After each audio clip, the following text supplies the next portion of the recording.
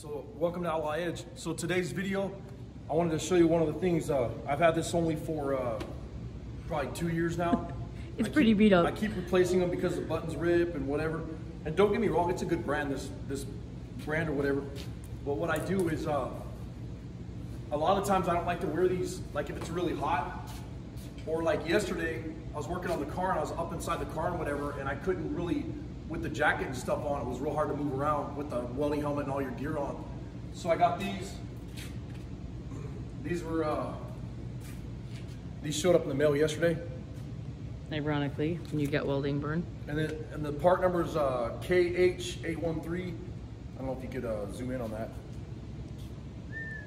Human zoom. And the Okay. problem is a lot of times when you're welding or grinding or whatever, like right now when I'm grinding like this, the sparks come back and they always get you right in the inside of your, uh, what do you call that? The inside of your elbow? Yeah, yeah, yeah. oh my gosh. So just a so quick, uh, these are quick sleeves that you can put on when you're doing work. We should bedazzle those. That would be awesome and go, go with my purse. Mm-hmm. And then, uh, you know, your gloves go over the top of them. That way you're not going to burn your arms. And, uh, Yeah.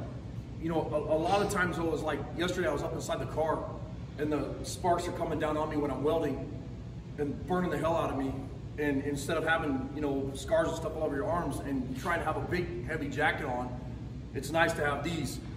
Check out uh, the Lincoln Electric, um, what do they call? Flame retardant welding sleeves.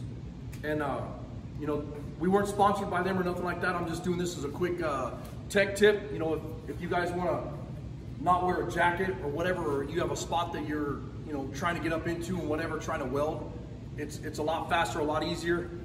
And these are a lot cheaper than a full jacket. And this is something that you can fold up and put in your pocket if you need to, And when it's 100 degrees. or your uh, fanny pack. Yes, your You fanny. These, these fit in a fanny pack. Do they?